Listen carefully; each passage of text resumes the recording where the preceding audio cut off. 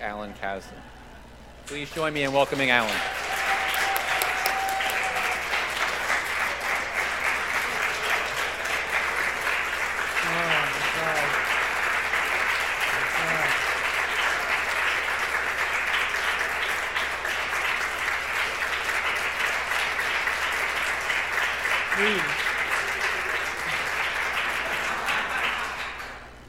My God, thank you very, very much. Um, before, before I begin, I'd like to, I'd like to say a few things. Uh, first of all, I guess I'm done.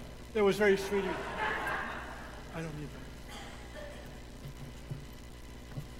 I'd like to just say a few things. Terry, um, for the that, uh, that proofing thing required me to work very hard with the copy editor to make sure that they wouldn't correct it. You can imagine what that is. And, and uh, I have that sometimes in my articles. I have big notes to copy editors. Don't change this. This is like, and whatever. And so the first one, and the second one is I have some comments to make, and I don't think I'll be too long, but I'd like to just help Matt a little bit.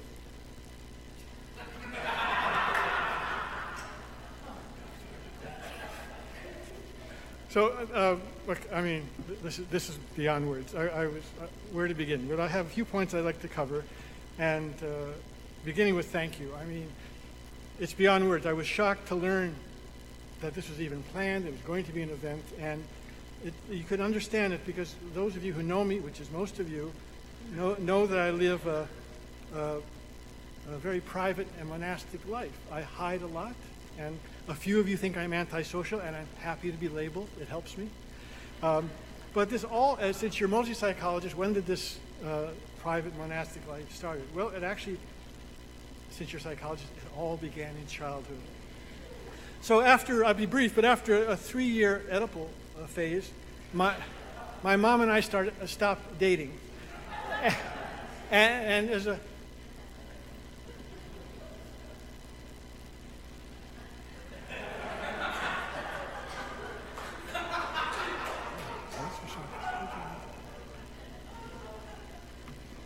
And as a parting gesture on her part, she thought we could just be friends at this point.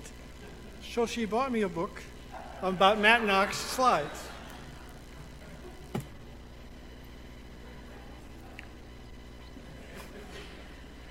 And the book was a, a, Benjamin Franklin book, and it had all these aphorisms. And I really related to the one that said that one should aim for a life that's healthy, wealthy, and wise.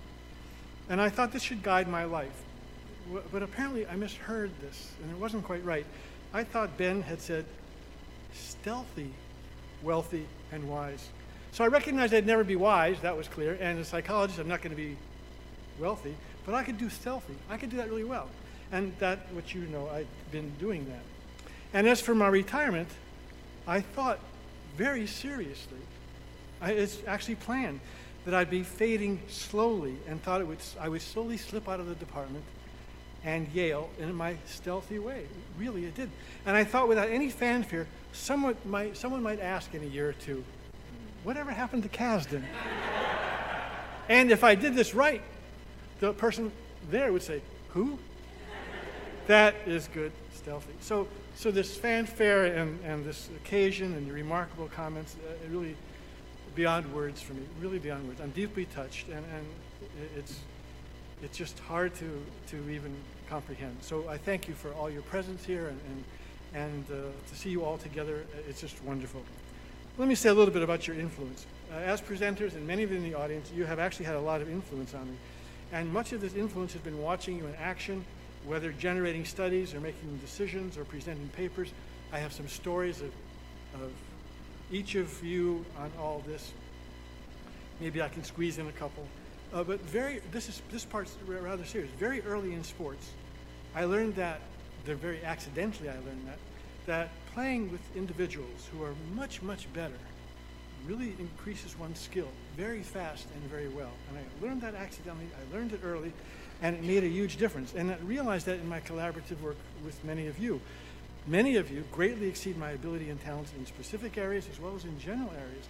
And in each case, I could be concrete, but I wouldn't want to flatter you all, that it actually made a difference. And, and my work has been greatly improved by my interactions and contacts with you. Um, and I'm really, really grateful. I have inside jokes with many of you, and some of them are in bad taste, but some of them can be mentioned just as inside jokes. Ron Kessler educated me about the southern region of the United States.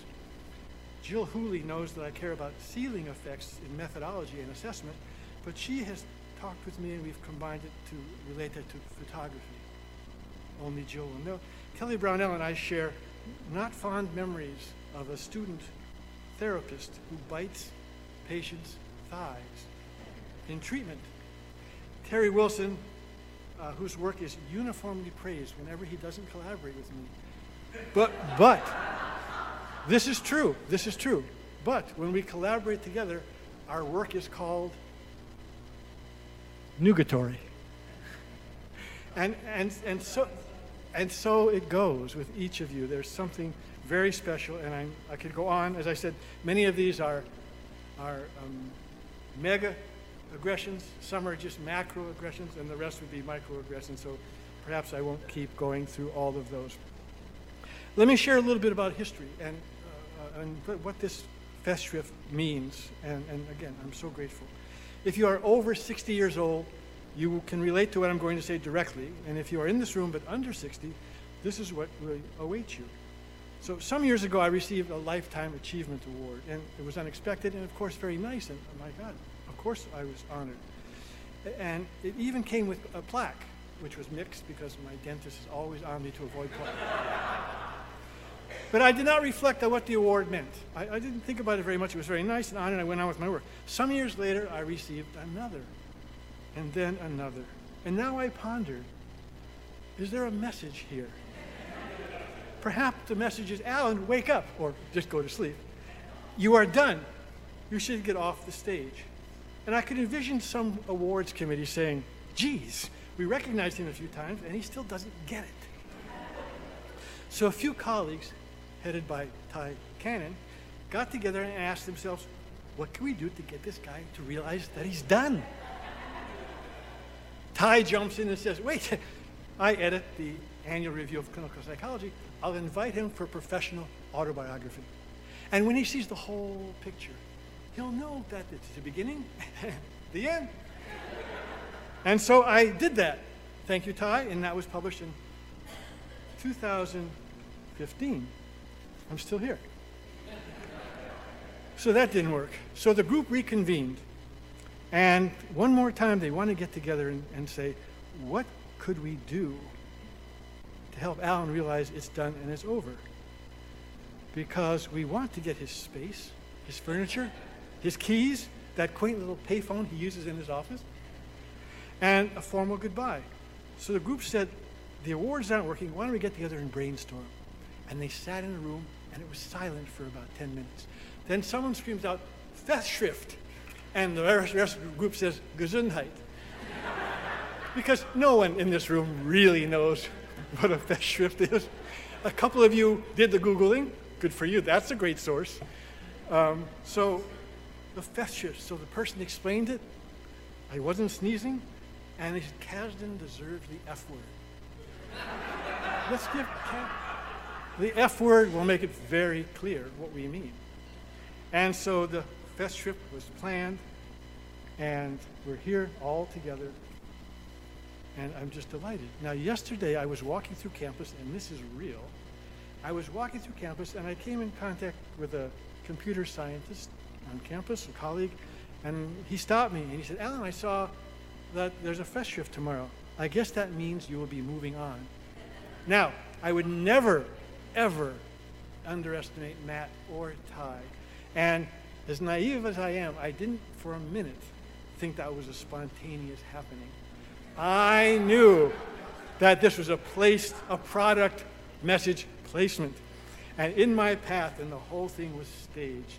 Geez, I said to myself, I would like the goodbye cues to really be a little more subtle. But then I looked back in my career and I figured I had the subtle ones and they really didn't work.